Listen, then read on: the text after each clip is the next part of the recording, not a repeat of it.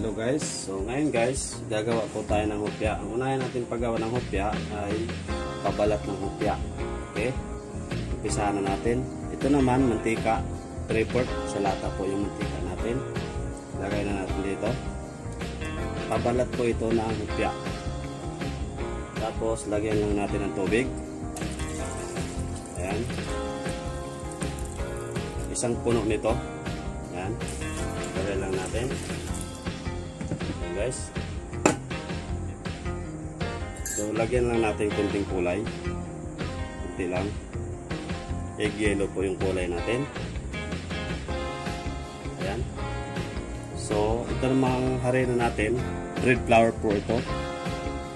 So, ano naman ito? 3 quart. Babalat po ng hupya. Okay? Isahan natin. Gawin na natin.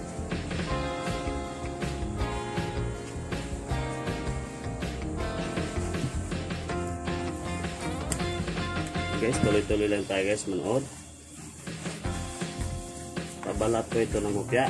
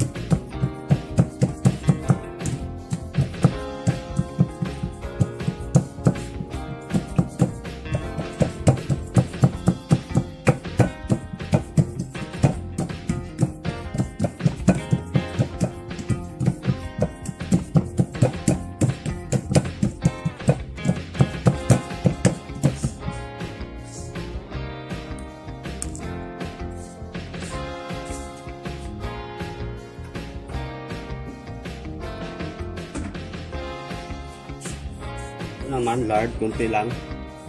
Kunting lard lang po.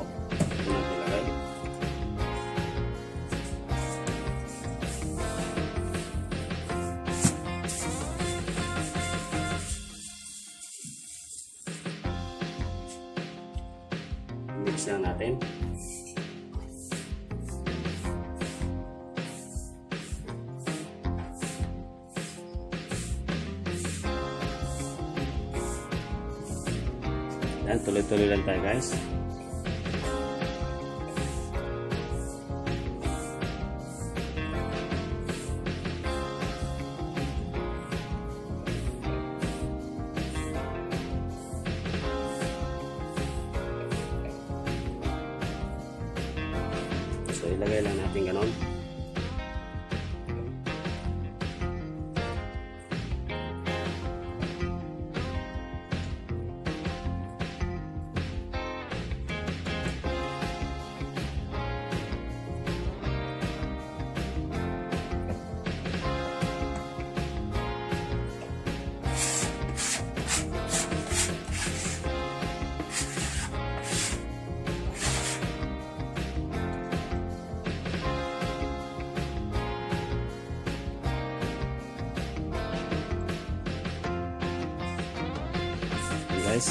So, pabalat po ito ng hopya. Tuloy-tuloy lang tayo guys, manood. So, gaganyanin lang natin.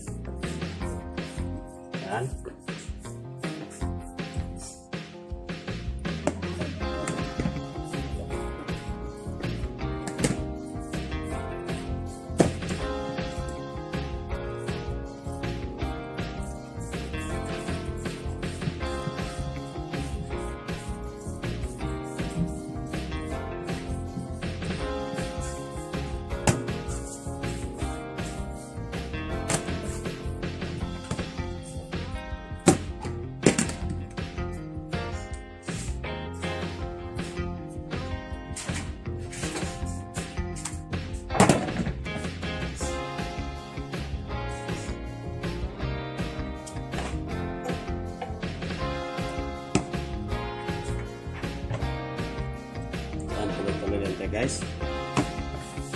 Kopya po ito.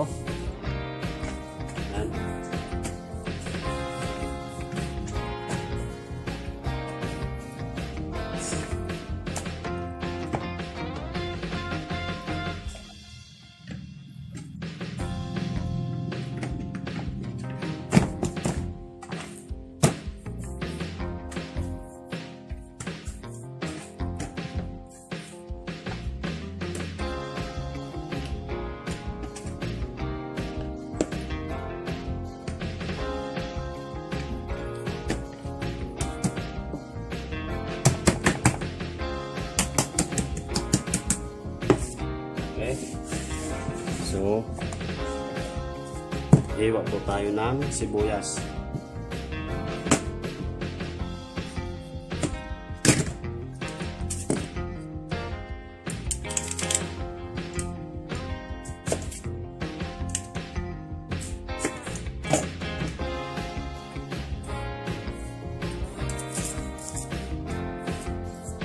Guys, tuloy-tuloy lang tayo guys. So mga nanonood guys, so maraming salamat po sa inyo. So tuloy-tuloy lang po tayo manood guys para pag meron tayong bagong videos manotify po kayo guys. So huwag niyo kalimutan guys na-subscribe at i-click mo na rin po ang all notification bell para updated po kayo pag mayroon tayong bago.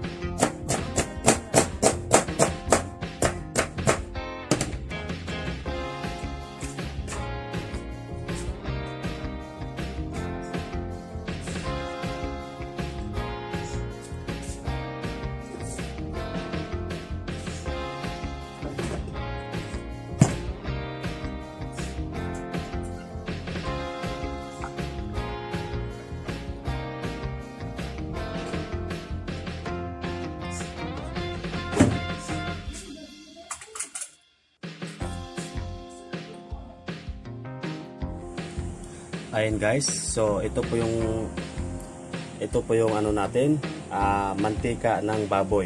So para sa hopya naman ito, ilagay na po natin. 3/4 po sa lata po ang ating ah, mantika ng baboy. So ilagay po natin yung sibuyas natin. Ayan. Hintayin lang po natin na magpula siya. Golden brown. Ayan guys.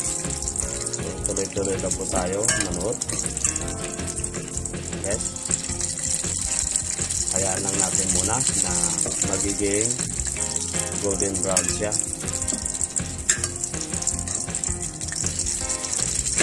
So, tuloy-tuloy lang po tayo guys, manood. So, ito po yung hopya na natutunan ko noon na ako pa ay ah, nangangamuhan. So, ngayon po, dito ko na po ginawa sa aking sariling bakery. So, mara maraming salamat sa inyong panonood. So mamaya-maya konti, gagawin na po natin ito. Kung paano natin gagawin ang kopyang baboy. Ayan guys. Ituloy-tuloy na tayo.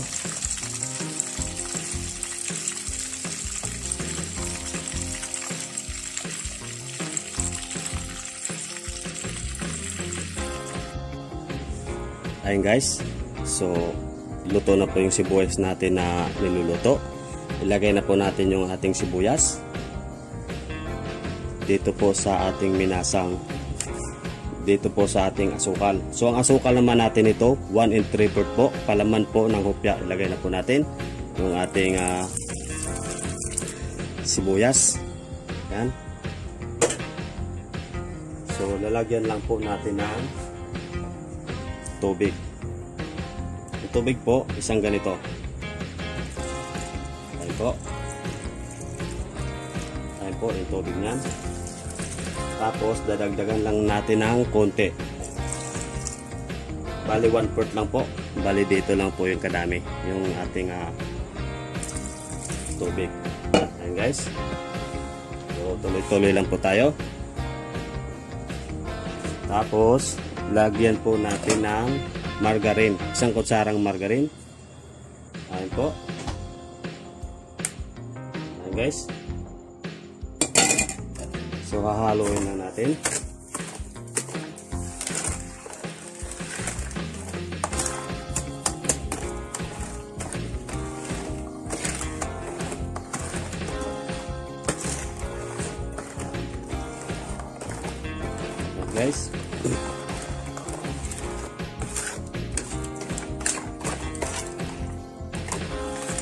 Tuloy-tuloy lang po tayo guys manood. Ang asukal natin 1 and 3 quart po. So tuloy-tuloy lang tayo. So okay na. So ang harina naman natin third class, dalawang kilo ito. Ilalagay na po natin.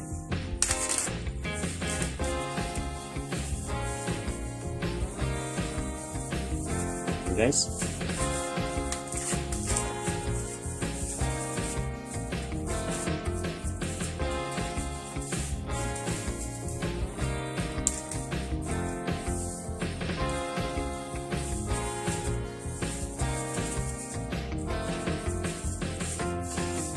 Bahala ka lang po.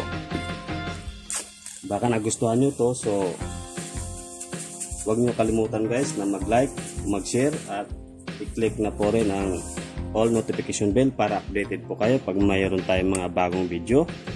So, ayun lang guys. Maraming salamat.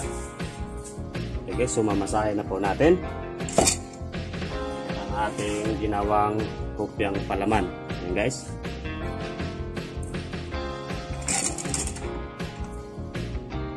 Pagmasan to, ganito lang. Ayan guys. So, lalagyan lang natin ng konting vanilla. Ayan guys, isang ganito lang po guys, yung vanilla natin. Ayan guys.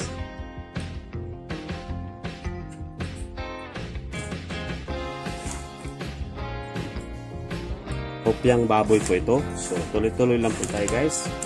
Manood.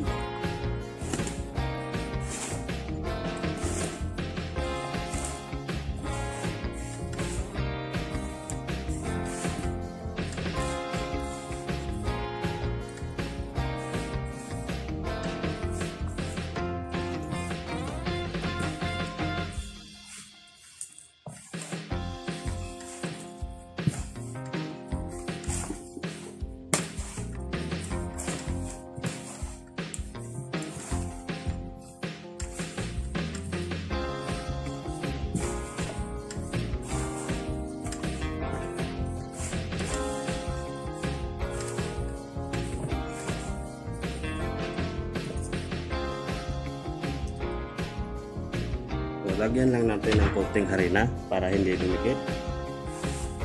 Ayan guys.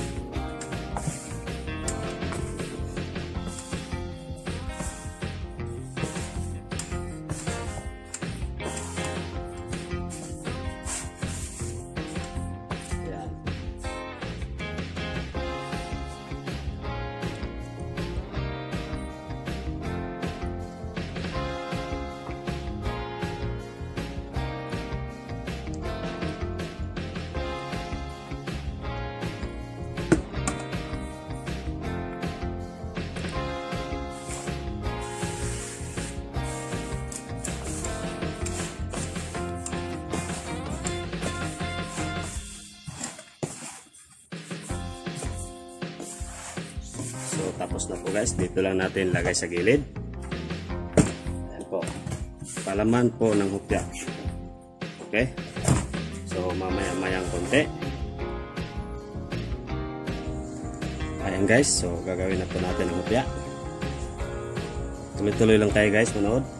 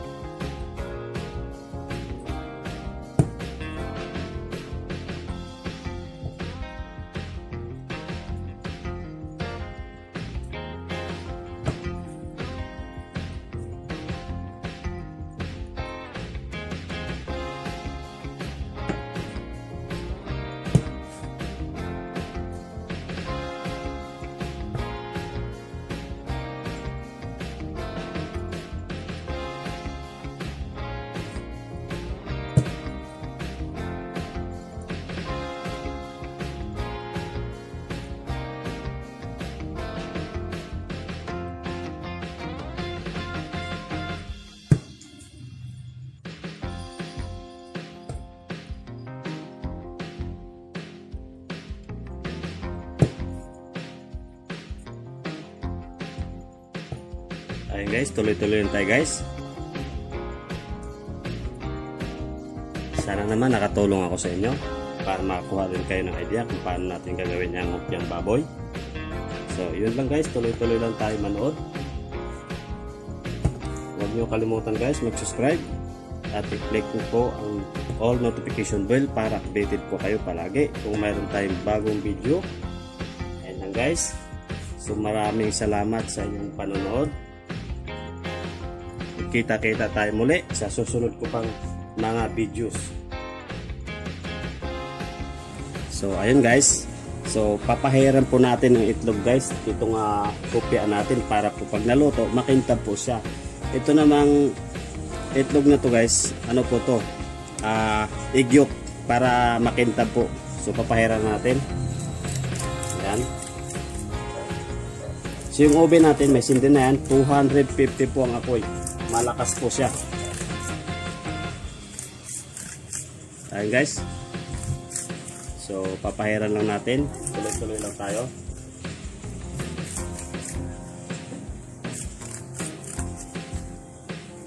Pagkatapos natin ito papahiran, diretso na natin sa oven agad. Ayan guys, tuloy-tuloy lang po.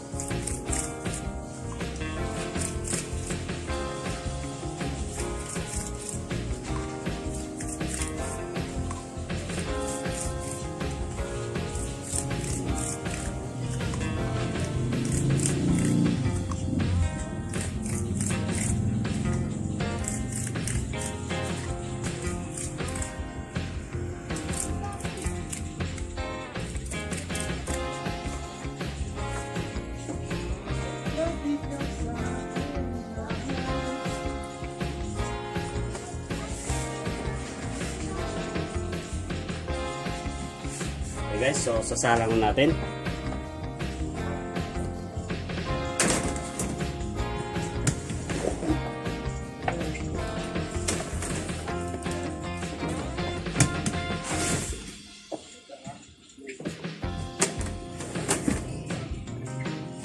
Oh guys, maraming salamat po sa inyong panonood. Ayan guys, kukunin na po natin yung kopya natin. Guys, oh. Ayan, luto na po yan.